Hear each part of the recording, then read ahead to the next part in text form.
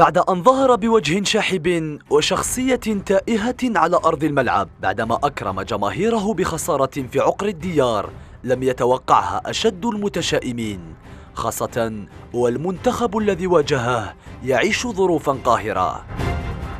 يتأهب المنتخب الوطني للاعبين المحليين لمباراة العودة أمام المنتخب الليبي مساء الجمعة بدءا من الساعة السابعة بالتوقيت الجزائري.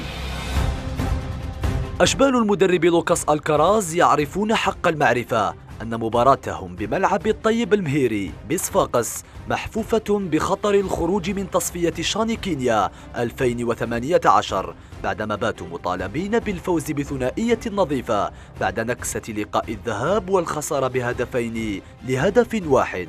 خاصة وهاجس الإصابات مشكل آخر يؤرق الفرقة الجزائرية ويزيد من مصائبها حيث سيفتقد الخضر لخمسة أسماء ويتعلق الأمر بعبد الحكيم مقران سعد إسماعيل محمد بن خماسة طارق بوعطبة إضافة إلى توفيق مساوي نقائص من شأنها أن تحرك فكرة التقنية الإسباني المطالب بإيجاد الحلول اللازمة للإطاحة بفرسان المتوسط خاصة وهو المغضوب عليه من قبل متتبعي الكرة الجزائرية بعد تهميشه لأسماء كانت قد تنقص من حجم الكارثة الكروية التي وقعت في مشهد الذهاب.